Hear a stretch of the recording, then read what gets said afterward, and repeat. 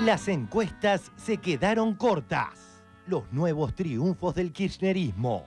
El país virtual. El riesgo de morbimortalidad en Kirchner es muy alto si no se cuida. En esto hay riesgo de quedar discapacitado o peor, de una muerte súbita. Comienza a dibujarse la finitud kirchnerista. Se trata a sí mismo como a los demás. Ese diagnóstico permitiría arrojar dudas sobre la posibilidad de que Kirchner pueda continuar. El país real. Perfil. Victoria kirchnerista en Santiago del Estero. Los candidatos del oficialismo se impusieron en las elecciones municipales realizadas en 26 municipios santiagueños y en la ciudad cordobesa de Marcos Juárez, donde se utilizó el sistema de voto electrónico. En Laguna Paiva, Santa Fe, ganó el candidato de Agustín Rossi, el concejal Rodrigo Fernández del Partido Unión Vecinal Democrática. Fue elegido intendente con el 60% de los votos. Triunfo kirchnerista en Chaco. El caso Laguna Paiva. Twitter de Daniel Tonietti. ¿Se acuerdan durante la 125 cómo agredieron a Agustín Rossi en Laguna Paiva? Hoy ganó con el 60%.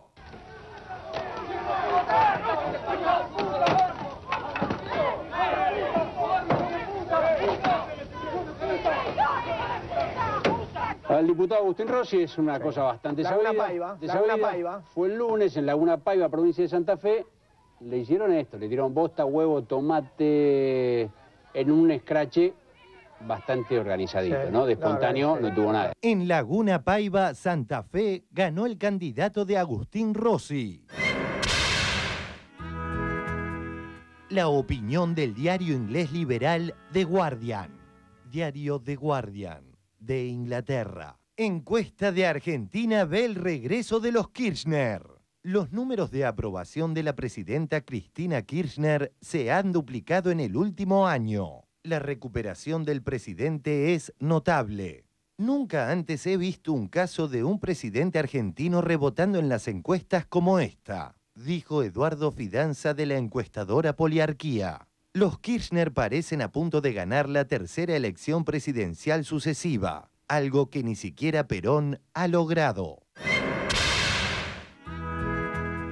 El liberal Robert Cox y la explicación de lo real.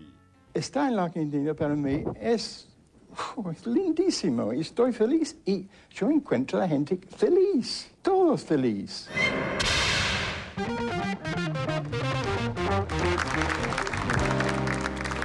Bueno. A ver, Mario, ¿qué te parece que pasó en esa parte de la provincia de Santa Fe, en Laguna de Paiva, para que hace unos años, le tiraba, hace un par de años también, ¿no? Le tiraban huevos, posta, lo que veíamos. Qué raro. Y ahora los votan. Qué raro, ¿no? ¿Qué, qué, qué habrá pasado en la gente para que ese fenómeno ocurra? Bueno, hab- había que ver cuán- cuántos eran los que tiraban huevos, realmente. Había que haberlos contado, lo primero, ¿no? Porque a veces este, es como una foto. Uno toma un poquito una foto y parece un montón. Hay que ver, hay que ver ahí. Pero bueno, yo me quedé un poquito pensando lo que decía Gustavo. Este, puede que se dé un cambio, hablo gros- groseramente en el sentido de grueso, no soy un experto que uno tiene recuerdos de la infancia de la, de la primera juventud, cómo se peleaba por política, ¿no? Pero cada uno no, no, no, no se veía el futuro para todos. Y me parece que me quedo con lo que dijo Gustavo, o por lo menos adhiero las palabras de él, este, que hay que dar un pasito superador un poquito, los políticos, en su gran mayoría, no todos, ¿no?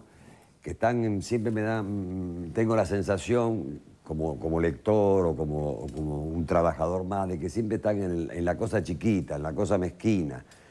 Y no hay, no- no- no- uno siente que uno necesita un estadista, más que un político. Se necesita un estadista. Sí, pero también hay, hay- una responsabilidad social, digamos, porque un país lo hacen los políticos, obviamente, los gobernantes, Yo pero también lo hacemos los que vivimos. Yo te voy a decir cuándo yo me siento mal con los políticos. Cuando yo leo el diario y las cosas horribles que se dicen unos a otros, de una, la irrespetuosidad no sería nada, pero se dicen barbaridades, ¿no? Sí. Y lo terrible para mí como ciudadano común es que uno se acostumbra a eso. Eh, hablo por mí, obviamente. se dicen barbaridades, se acusan de cosas terribles. Y entonces ahí creo que se comete un error porque se bastardea la política. La política es un arte, se bastardea. A ver, señora Russo, ¿tiene algo para decir o no? Eh, no, en este momento precisamente no. Me parece muy bien, es, un buen momento. Entonces, me parece que es un Yo buen que momento sí. para que nos vayamos al corte. Yo creo que sí. Está, lo consensuamos, ¿no? Yo creo que sí. Vamos bien. Estaba todo preparado esto.